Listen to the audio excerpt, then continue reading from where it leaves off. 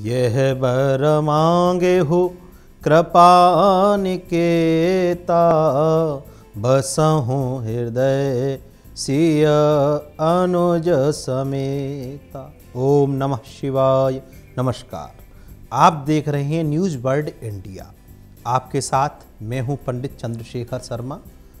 सितारों की गणना बताती है 24 दिसंबर की रात से चंद्रमा मेष राशि में संचार कर चुके हैं।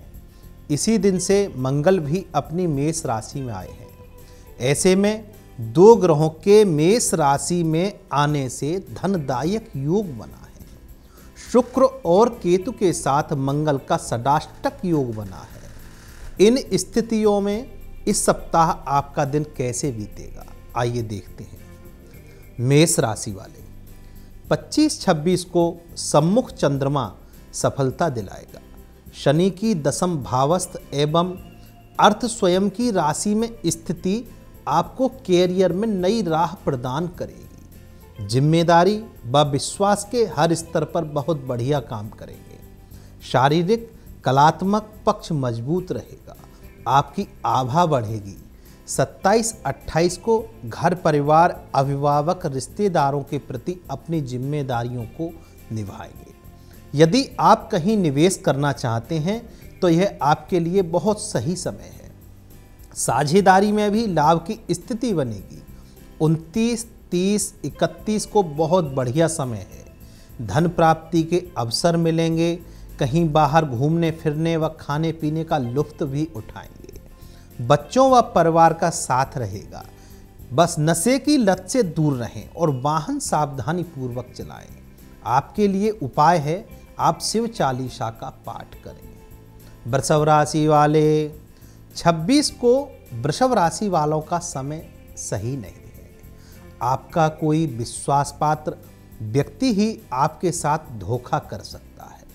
कार्यों में रुकावट से मन परेशान व बेचैन रहेगा। मौसम की मार भारी पड़ सकती है। 27-28 को कहीं बाहर जाने का कार्यक्रम बन सकता है। संतान की तरफ़ से सुखद समाचार मिलेंगे। आपको पग पग पर बड़े बुज़ुर्गों का मार्गदर्शन प्राप्त होगा। 29 से 30 के मध्य समय बहुत ही शांत रहेगा। मन में एक तरह का सुकून रहेगा। आप अपना ज़्यादा से ज़्यादा समय आर्थिक क्रियाकलाप में व्यतीत करेंगे। परिवार के साथ धार्मिक यात्रा भी हो सकती है और नए साल के स्वागत के लिए पूर्णता प्रसन्न मन से तैयार रहेंगे। मिथुन राशि वाले 25-26 के मध्य व्यापार व्यवसाय में आपका पूरा पूरा फोकस रहेगा। आप प्रोडक्शन व क्वालिटी दोनों को बढ़ाने में पूरा पूरा ज़ोर लगा देंगे। इस समय जो निवेश करेंगे, उसके परिणाम आगे चलकर सकारात्मक मिलेंगे। व्यापार व व्यवसाय में अनुकूलता रहेगी। आर्थिक स्थिति व हालात पहले से बेहतर रहेंगे। 26 की शाम से 28 के मध्य आप किसी उलझन या परेशानी का शिकार भी हो सकते हैं। शत्रुंजय पीड़ा की स्थिति साफ़ साफ़ दिखलाई पड़ रही है। अगर आप सरकारी नौकरी में हैं तो सावधान रहें। आप पर भी हो सकते हैं।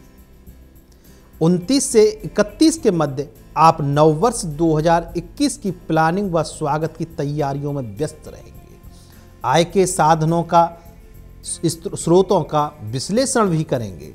धन ऐश्वर्य की प्राप्ति के योग बने हैं। मित्रों के सहयोग से आप आगे बढ़ेंगे। आपके लिए उपाय है, आप गणेश जी को दूरवा व मोदक चढ़ाएँ। कर्क राशि वाले 25 से 26 दिसंबर के मध्य किसी संत जन या महापुरुष का आशीर्वाद प्राप्त होगा। किसी के द्वारा कही गई बात आपके अंतर मन को छू जाएगी। आप इस समय बाग चातुर से अपना काम बना ही लेंगे। पैसों का दुरुपयोग करने से बचें। 27 व 28 को आपके द्वारा कोई लोक कल्याण का काम भी हो सकता है। कहीं से रुका हुआ धन भी प्राप्त होगा। व्यापार बिज़नेस में आपको लाभ प्राप्त होगा। रोजी रोज़गार के उचित व नए अवसर प्राप्त होंगे। माँ लक्ष्मी की कृपा बनी रहेगी और 29 से 31 दिसंबर के मध्य कोई अप्रिय या अशुभ समाचार भी प्राप्त हो सकता है। आपके किसी काम की आलोचना या निंदा भी हो सकती है। रुपए पैसे के मामले में किसी पर भी विश्वास या भरोसा ना करें। आपके लिए उपाय, शिव चालीसा का पाठ करें और रुद्राभिषेक कराएँ। इसके अलावा एक दूसरा उपाय है बरगद की जड़ में जल चढ़ाकर उस मिट्टी का टीका लगाएँ। सिंह राशि वाले 25-26 को आप हर परिस्थिति से लड़ने के लिए तैयार रहेंगे। बातचीत में सावधानी बरतें। अन्यथा आपकी बात का गलत मतलब निकाल लिया जाएगा। धार्मिक कार्य में भारी खर्च होने की संभावना है। आपके पारिवारिक फैसले सही रहेंगे। 27-28 को दौड़ धूप के शानदार परिणाम मिलेंगे। राज्य के मामले हल होंगे। आप बाहरी यात्रा करेंगे। भाग्योदय के अवसर प्राप्त होंगे। 29, 30 और 31 को आधा दिन शानदार फलों को देने वाला रहेगा। आयात निर्यात से जुड़े लोगों को अच्छा लाभ मिलेगा। पुरानी चली आ रही समस्या का निराकरण होगा। आय के स्रोत बढ़ेंगे और अटका हुआ रुपया प्राप्त होगा। 31 की शाम से समय चिंताकारी व हानिकारक रहेगा। बच्चों की पढ़ाई व कैरियर की चिंता रहेगी, स्वास्थ्य में तकलीफ़ रहेगी। आपके लिए उपाय, बरगद की जड़ में जल चढ़ाकर मिट्टी का टीका लगाएँ। जल चढ़ाने में मीठे दूध का थोड़ा भाग भी उसमें ज़रूर मिला लें। कन्या राशि वाले 25-26 को आधा दिन अच्छा नहीं जाएगा। आपका सारे काम रुके हुए प्रतीत होंगे। आपकी मेहनत पर पानी भी फिर सकता है। मित्र आखिरी वक्त पर धोखा दे सकते हैं।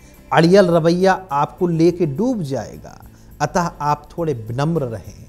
26 की दोपहर से 28 के मध्य समय सफलता की प्राप्ति का है। स्वास्थ्य उत्तम रहेगा। कहीं बाहर खान पान का लुप्त भी उठाएँगे। मन में तरह तरह की चर्चाएँ व्याप्त रहेंगी। आपको अपनी गलतियों का एहसास समय रहते हो जाएगा, जिससे आप सभी के चहेते बन जाओगे। परिवार के साथ व्यस्त रह सकते हैं। उनतीस को आप घूमने फिरने के मूड में रहेंगे। व्यापार में ज़बरदस्त लाभ होगा और 31 को समय आनंद पूर्वक उल्लासपूर्ण व्यतीत होगा। शुभ अवसर प्राप्त होगा, पार्टी में जाएँगे, उपाय। शनिवार का व्रत करें और शाम को मीठा भोजन ग्रहण करें।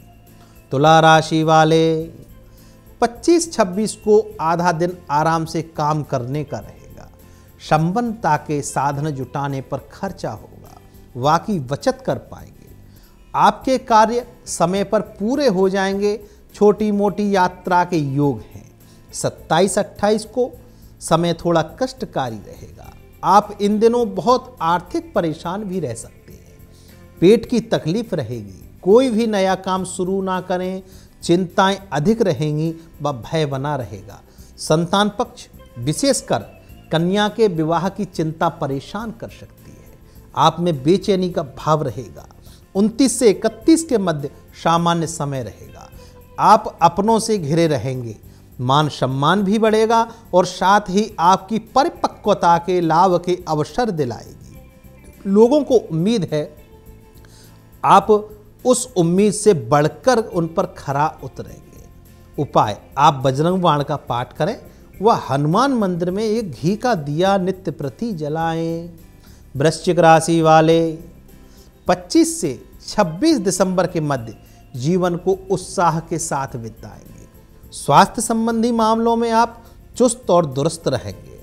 कहीं पर बाहर घूमने का, फिरने का प्रोग्राम भी बन सकता है। मनोरंजन, खेलकूद व ज्ञानवर्धक साहित्य को पढ़ने में अभिरुचि रहेगी। 27 28 को पारिवारिक कार्यों में व्यस्तता बढ़ेगी। व्यापारिक, व्यवसायिक दृष्टि से कुछ महत्वपूर्ण निर्णय आप ज़रूर लेंगे। बेशक, फ़िलहाल आपको और निर्णयों को प्रतिफल नहीं मिल पाए, परंतु दीर्घकालिक रूप से यह निर्णय आपके भविष्य को प्रभावित करेंगे। 29 से 31 के मध्य आप किसी साजिश या षड्यंत्र में फंस सकते हैं, शत्रु विरोधी हावी रह सकते हैं, आपके विरुद्ध कोई गुप्त योजना या प्लानिंग आकार ले सकती है। निवेश संबंधी निर्णय को लेने से पूर्व किसी विशेषज्ञ व अनुभवी व्यक्ति से सलाह करें। रुपए पैसों के मामले में किसी पर भी भरोसा ना करें। आपके लिए उपाय है, आप गुरुजनों, ब्राह्मणों व संतों की सेवा करें व आशीर्वाद धनु राशि वाले 25-26 को समय अनुकूल आएगा। विद्यार्थी अपने अध्ययन को गंभीरता से लेंगे। आर्थिक स्थिति धीरे धीरे पटरी पर आना शुरू हो गई है। आप कामयाबी में ऐसे कुछ बदलाव के अमल में लाएँगे, आगे चलकर बदलाव का सकारात्मक लाभ भी प्राप्त होगा। 27-28 को किसी रोचक या ज्ञानवर्धक साहित्य को पढ़ेंगे। मिले जुले परिणाम व प्रतिफल भी मिलेंगे। मित्रों का साथ भी रहेगा, वह आपकी हर संभव मदद करेंगे। ध्यान, योग, चिंतन, मनन आदि करेंगे।